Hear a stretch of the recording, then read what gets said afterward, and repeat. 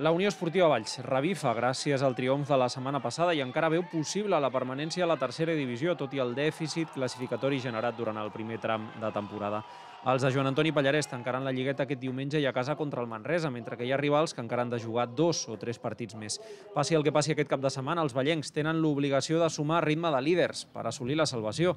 Ara bé, el retrobament amb el gol al camp de la Muntanyesa i la seguretat defensiva permeten que l'equip cregui en la remuntada. També serà el primer dia en públic, a la grada del Vilar. Que no ens donin per morts perquè al final nosaltres intentarem lluitar fins l'últim partit que es pugui i bueno, és això, intentar aconseguir la victòria aquesta setmana i si aconseguim els tres punts doncs serà una alegria per afrontar aquesta segona fase. Serà molt important tenir el Vila a prop perquè sempre a primera catalana ja anava molta gent a recolzar l'equip, molt, anima molt i al final és, és important que tinguem la, la nostra afició de costat, que ens ajudin perquè segur que la necessitem. La Unió Esportiva Valls és tercera per sota amb 14 punts, l'Igualada penúltima amb 12 i la Muntanyesa Cué amb 11 amb un partit i dos menys respectivament. Els cinc pitjors classificats es reuniran amb els cinc pitjors de l'altre subgrup en la següent fase del curs a la tercera divisió.